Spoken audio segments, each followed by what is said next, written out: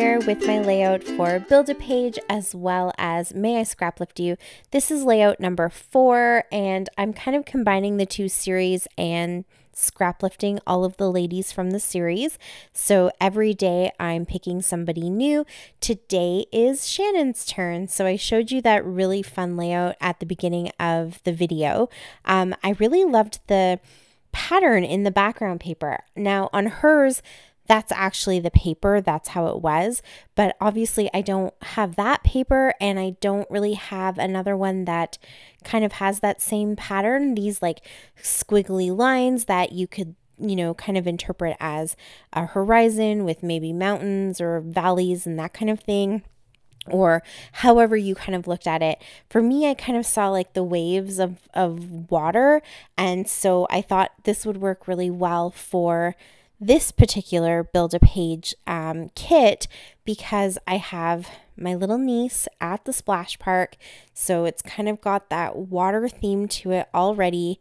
And um, yeah, I'm just to kind of build that pattern in my background. and then I also just love the sequins that Shannon uses and the yellows. Oops, I just dropped my phone, sorry. Um, the yellow tones. Hers are much more sort of those earthy tones, but I have lots of yellow in this page kit, so it was just meant to be, and I'm to go ahead and pair those two. So the papers, the pattern papers that you see here, um, all of them except for one, I'll show you which one when we kind of get to it. They are from uh, Close to My Heart. I think I say the name of the collection in the actual Build a Page uh, kit process that I have. So those videos are up. You can watch my process of putting my kits together. I can't remember offhand what the name of this collection is, but all of those pattern papers are part of that collection, except for the one that kind of, well, it's the one at the very top and bottom of my little uh, like pattern here that I've created.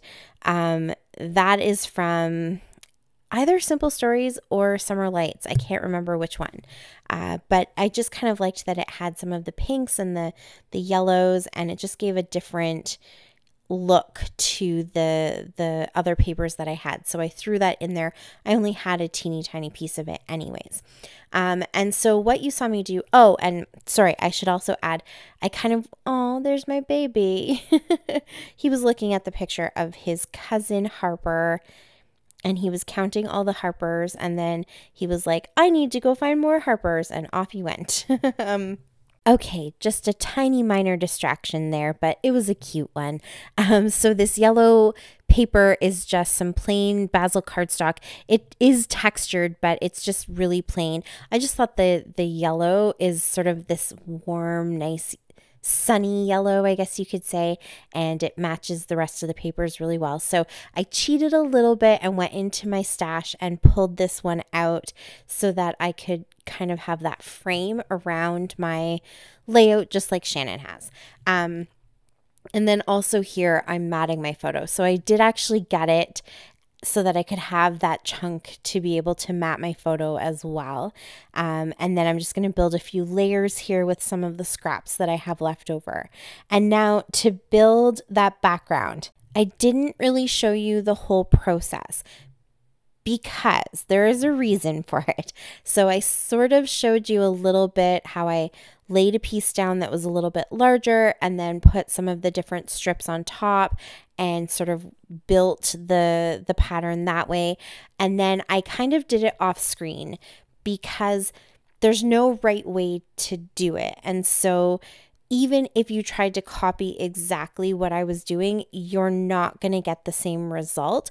You're just not going to cut your papers the same way that I do, in the same widths and, you know, the same curves to them or anything like that. So it legitimately was just a matter of putting down the papers, creating the layers. I just wanted you to be able to see sort of a different strip of each of the patterns. So I just kind of put them um, the way that felt right to me. I could have used more, I could have used less. It just, it's each time it's going to be completely different. So I just started with some of the larger pieces and kind of fit them together, and then took some of the thinner strips and kind of filled in some of the gaps. That's all I did. It was actually quite simple once I kind of figured it out in my head, but I didn't show you because I did fiddle around with it and I just I just know that if you guys wanted to go ahead and try it, it's going to look totally different. You're going to find your own kind of way of doing it because your papers are going to be completely different, cut completely different and and and have different shapes to them than mine do. So you just kind of have to piece it all together until you get something that looks right. You could do it on a piece of paper if you wanted to kind of glue things down, I didn't go ahead and do that because I wasn't sure how I wanted to move things around. But um, once I kind of got a couple pieces into place, I just tucked tucked a few little bits of adhesive in to kind of hold them down.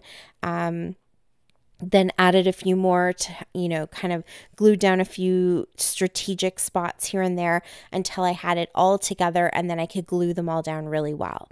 Uh, so it's just having fun playing a bit of a puzzle, putting it all together. But I kind of like how it turned out, and I'd love to do a whole piece of paper like this um, sometime soon. so that is why I didn't show you that. But you can see here, everything else is pretty simple. Um, I made sure to do the layers of my photos and get my photo down first because I really wanted to make sure that my sequins had time to dry before I started adding extra embellishments and trying to put stickers on top of them and that kind of thing. So once I have my picture in the place where I want it to be and I've got some of the layers tucked in behind there, I just took my glue and you saw me kind of smudge it all over. I made sure there was a good coating of it and kind of, you know, have it everywhere that I wanted it to go, wherever I wanted a sequin to be. And then I just sprinkled pretty much that whole pack of sequins into the glue and then I walked away for an hour. So I didn't fuss with it. I didn't, you know, I I think I patted it down just a little bit to make sure that everything that could stick to some glue was actually in the glue and that nothing was kind of standing up in a funny way or anything like that. But I walked away for about an hour. It's the um, quick dry adhesive, but I really just wanted to make sure because on paper it dries very quickly, but when you're sticking it to, especially um, like the sequin is like a plastic material, it sometimes needs just that little extra bit to make sure it really adheres well. And so when I came back, I just picked up the layout and kind of tapped it very gently and let everything fall. And so you can see in, on the right hand side there, that pile of sequins is actually what came off of the layout. And so then I could just go back in and if there were little gaps or anything, uh, fill that in with a little bit of glue and kind of add a few sequins here and there, but the majority of the sequins stuck that very first time and I didn't have to uh, fill into too many holes. And of course, you can do that in any way that you want that you think works good for you. You could even add, you know, another layer of glue and sprinkle even more sequins on. But I just really liked how kind of fun and different that is from Shannon's layout. And I thought the blue sequins would really look like that splash of water because obviously Harper's playing at the water park.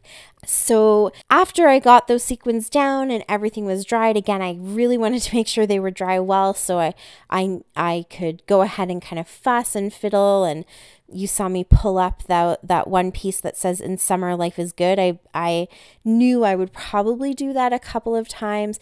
So i made sure those sequins were down really well. And then just went through the sticker sheet. It's a dear lizzie sticker sheet kind of a summer um, sheet pulled off a bunch of the stickers that i thought would work I got that piece from the cut apart sheet that I really wanted to get used up that says in summer life is good. That was the whole jumping off point for creating this kit. So I'm really happy that I got that used. And now I'm just finishing it up with a few splatters. I don't think I love the splatters. I probably wouldn't do them again if I could go back and redo this layout, but I just thought they were kind of fun, splashy, I don't know, pops of color. But um, yeah, that's it. What a cute, fun layout. It's so pretty and summery, and I love it. Thank you so much for watching. I really, really appreciate it. Go and check out Moira and Shannon and Christy and Kristin and Sheila and everyone joining in for May I Scraplift You today. And uh, subscribe if you haven't already. And until next time, happy scrapping. Bye.